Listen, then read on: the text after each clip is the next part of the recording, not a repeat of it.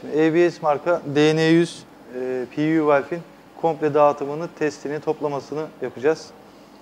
İlk PV'yi dağıtmadan önce e, pres tarafı ve vakum tarafının testini gireceğiz. Ondan sonra dağıtıp toplamaya başlayacağız. Su sütunu, vakum gauge'i, pres gauge'i bir de PLC ekranındaki e, pres tarafı ve vakum tarafının dalgalanmalarını görebilmek için e, PLC ekranı yazdırdık. İlk pres tarafından teste başlayacağız.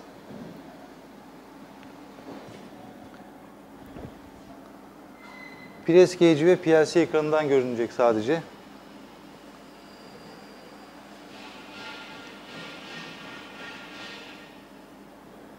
İlk açtığı noktayı görmek için havayı az veriyorum. Gemideki gibi değil.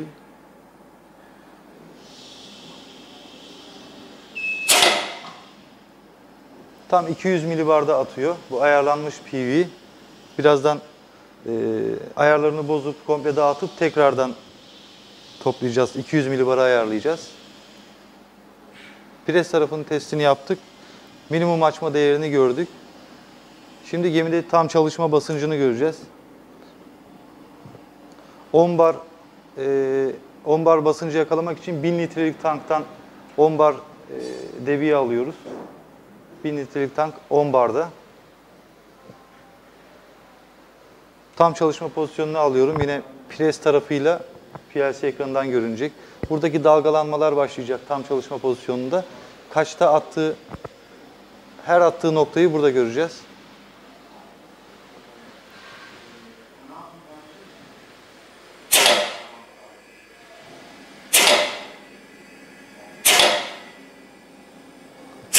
Şöyle ilk noktadan dördüncü atmasında 197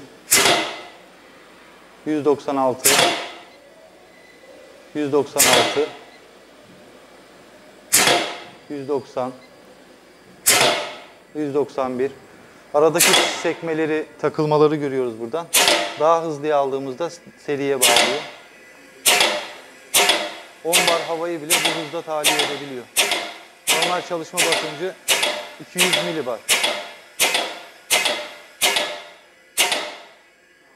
Kapattığımızda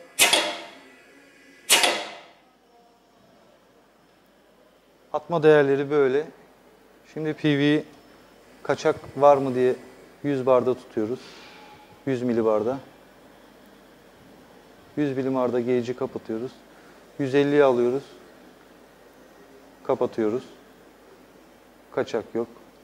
Sonra tekrar düşürüyoruz. Bekliyoruz. Düşürüyoruz. Kaçak yok. 100'e düşürüyoruz. Bekliyoruz. Kaçak yok. Bütün sızdırmazlık testleri pres tarafının böyle bitmiş oluyor bütün haznede. Tahliye ediyoruz. Vakum tarafına geçiyoruz. Vakum tarafında e, vakum gauge'i aynı ekranda e, atma değerleri görünecek.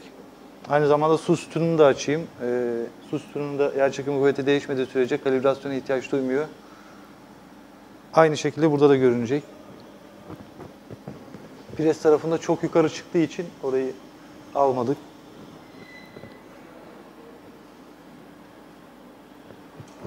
Pres gauge'ini kapatıyoruz. Vakum olacağı için vakum gauge'ini açıyoruz. Vakum ejekterini çalıştırıyoruz.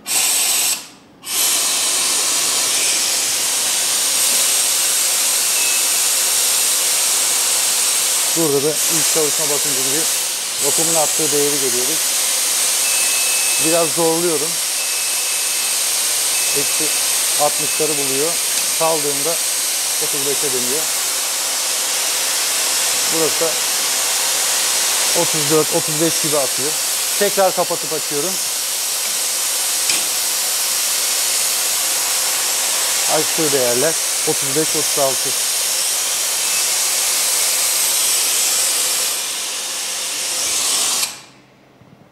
Bunu da sızdırmazlık testine vakumun ilk kapattığı noktadan bakıyoruz. Su da aynı hizada. Şimdi PV'nin toplanmış hali. E, komple dağıtıp tekrar ayarlarını yapıp parçalarına geçebiliriz.